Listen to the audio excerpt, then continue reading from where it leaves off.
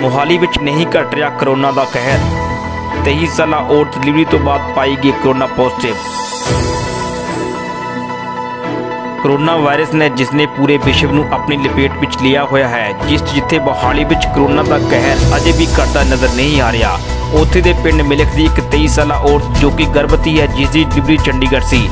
ਜਦੋਂ ਡਿਲੀਵਰੀ ਤੋਂ ਬਾਅਦ ਉਸ ਦੇ ਟੈਸਟ ਕੀਤੇ ਗਏ ਤਾਂ ਉਸ ਦੀ ਕਰੋਨਾ ਰਿਪੋਰਟ ਪੋਜ਼ਿਟਿਵ ਪਾਈ ਗਈ ਇਸ ਦੀ ਸੂਚਨਾ ਮਿਲਦੇ ਹੀ ਪੂਰੇ ਪਿੰਡ ਨੂੰ ਸੀਲ ਕਰਕੇ ਸਿਹਤ ਵਿਭਾਗ ਦੀ ਟੀਮ ਵੱਲੋਂ ਉਸ ਔਰਤ ਦੇ ਨਜ਼ਦੀਕੇ ਦੀ ਜਾਂਚ ਕਰਨੀ ਸ਼ੁਰੂ ਕਰ ਦਿੱਤੀ ਹੈ।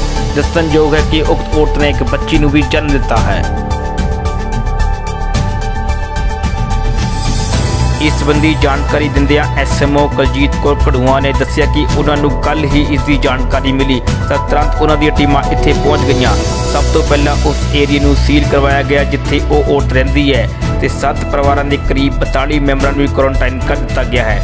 ਤੇ ਅੱਜ ਉਹਨਾਂ ਚੋਂ ਕੁਝ ਸਿਲੈਕਟਡ ਮਰੀਜ਼ਾਂ ਦੇ ਸੈਂਪਲ ਭੇਜੇ ਗਏ ਹਨ ਤੇ ਰਿਪੋਰਟ ਆਉਣ ਤੋਂ ਬਾਅਦ ਅਗਲੀ ਕਾਰਵਾਈ ਕੀਤੀ ਜਾਵੇਗੀ। ਇਸ ਮੌਕੇ ਗੱਲਬਾਤ ਕਰਦਿਆਂ ਐਸਐਚਓ ਰਮਨਪ੍ਰੀਤ ਸਿੰਘ ਨੇ ਦੱਸਿਆ ਕਿ ਸਾਨੂੰ ਕੱਲ ਹੀ ਜਾਣਕਾਰੀ ਮਿਲੀ ਸੀ ਕਿ ਮਿਲਕ ਪਿੰਡ ਦੀ ਔਰਤ, ਜਿਸ ਦੀ ਚੰਡੀਗੜ੍ਹ 16 ਸੈਕਟਰ 'ਚ ਡਿਲੀਵਰੀ ਸੀ ਤੇ ਜਦੋਂ ਉਸ ਦੇ ਟੈਸਟ ਕੀਤੇ ਗਏ ਤਾਂ ਉਸ ਦੀ ਰਿਪੋਰਟ ਪੋਜ਼ਿਟਿਵ ਪਾਈ ਗਈ ਤੇ ਪਿੰਡ ਵਿੱਚ ਨਾਲ ਦੇ ਪਰਿਵਾਰ ਨੂੰ ਕੁਆਰੰਟਾਈਨ ਕਰਕੇ ਇਸ ਖੇਤਰ ਨੂੰ ਸੀਲ ਕਰ ਦਿੱਤਾ ਗਿਆ ਹੈ। ਇਹਨਾਂ ਨੂੰ ਨਿਰਦੇਸ਼ ਦਿੱਤਾ ਕਿ ਕੋਈ ਵੀ ਬਾਹਰ ਨਾ ਜਾਵੇ। ਅਗਰ ਕਿਸੇ ਨੂੰ ਕੋਈ ਵੀ ਲੋੜ ਹੋਵੇ ਤਾਂ ਉਹ ਇਸ ਦਾ ਇੰਤਜ਼ਾਮ ਕਰਨਗੇ। ਅਗਰ ਕੋਈ ਬਾਹਰ ਆਵੇਗਾ ਉਸ ਦੇ ਖਿਲਾਫ ਕਾਨੂੰਨੀ ਕਾਰਵਾਈ ਕੀਤੀ ਜਾਵੇਗੀ।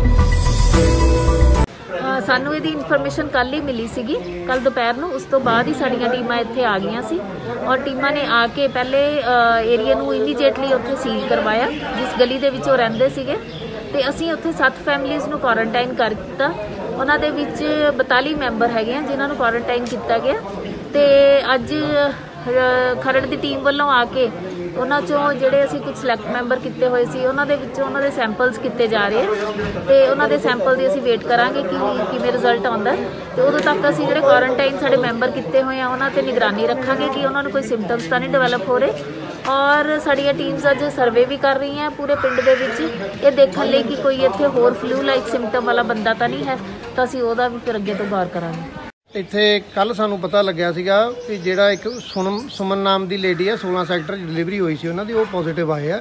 ਉਸ ਤੋਂ ਬਾਅਦ ਡਾਕਟਰਾਂ ਦੀ ਟੀਮ ਨਾਲ ਕੱਲ ਵੀ ਆਏ ਸੀ ਅਸੀਂ ਇੱਥੇ ਤੇ ਇੱਥੇ ਆ ਕੇ ਮਤਲਬ ਅਸੀਂ ਇਹ ਸਾਰਾ ਕੁਆਰੰਟਾਈਨ ਕਰਤਾ ਸੀਗਾ। ਅੱਜ ਵੀ ਹੁਣ ਡਾਕਟਰ ਦੀ ਟੀਮ ਆਈ ਹੋਈ ਹੈ। ਇਹਨਾਂ ਦੇ ਬਕਾਇਦਾ ਮਤਲਬ ਸਾਰੀਆਂ ਫੈਮਲੀਆਂ ਦੇ ਟੈਸਟ ਹੋ ਰਹੇ ਨੇ। ਇਹ 25 30 ਜਾਣੇ ਇੱਥੇ ਪਿੱਛੇ ਘਰ 'ਚ ਰਹਿੰਦੇ ਨੇ, ਸਾਰੀ ਇਕੱਠੀ ਫੈਮਲੀ ਹੈ ਇਹ। ਤੇ ਉਹਨਾਂ ਨੂੰ ਸਾਰਿਆਂ ਨੂੰ ਮਤਲਬ ਇੱਥੇ ਕੁਆਰੰਟਾਈਨ ਕਰਕੇ ਕੰਟੋਨਮੈਂਟ ਜ਼ੋਨ ਕਰਤਾ। ਤੇ ਇਹਨਾਂ ਨੂੰ ਕਿਹਾ ਵੀ ਕਿਸੇ ਵੀ ਚੀਜ਼ ਦੀ ਤੁਹਾਨੂੰ ਰਾਸ਼ਨ ਦੀ, ਕਿਸੇ ਦਵਾਈ ਬੂਟੀ ਦੀ ਲੋੜ ਆ, ਅਸੀਂ ਤੁਹਾਨੂੰ ਆਪੇ ਪ੍ਰੋਵਾਈਡ ਕਰਾਂਗੇ। ਤੇ ਪਿੰਡ ਵਾਲੇ ਦੀ ਮਦਦ ਨਾਲ ਇਹ ਸਾਰਾ ਏਰੀਆ ਸੀਲ ਕਰਤਾ ਅਸੀਂ। ਇਹ ਆਪਣੀ, ਜਿਵੇਂ ਕਹਿੰਦੇ ਸਵਾਰੀ ਆਪਣੇ ਸਮਾਨ ਦੀ ਆਪ ਜ਼ਿੰਮੇਵਾਰ ਆ, ਸਾਰਿਆਂ ਨੂੰ ਪਤਾ ਵੀ ਇਹ ਜਿਹੜੀ ਬੜੀ ਭਿਆਨਕ ਬਿਮਾਰੀ ਹੈ ਇਹਦਾ ਇਹੀ ਇਲਾਜ ਹੈ ਵੀ ਆਪਣੇ ਘਰ ਦੇ ਵਿੱਚ ਰਹੋ। ਤੇ ਕਿਸੇ ਨੂੰ ਇਹ ਹਦਾਇਤ ਕਿ ਬਾਹਰ ਨਹੀਂ ਹੈਗਾ, ਬਾਹਰ ਜਾਊਗਾ, ਜੇ ਕੋਈ ਬਾਹਰ ਸਾਨੂੰ ਦੇਖਿਆ ਤਾਂ ਉਹਦੇ ਖਿਲਾਫ ਜਿਹੜੀ ਬੰਦੀ ਕਾਨੂੰਨੀ ਤਾਰ ਕਾਰਵਾਈ ਕੀਤੀ ਜਾਊਗੀ। ਤੇ ਉਹਨਾਂ ਨੂੰ ਇਹੀ ਹਦਾਇਤ ਆ ਵੀ ਆਪਣੇ ਆਪਣੇ ਘਰਾਂ 'ਚ ਰਹਿ ਕੇ ਕਾਨੂੰਨ ਦੀ ਪਾਲਣਾ ਕਰੋ।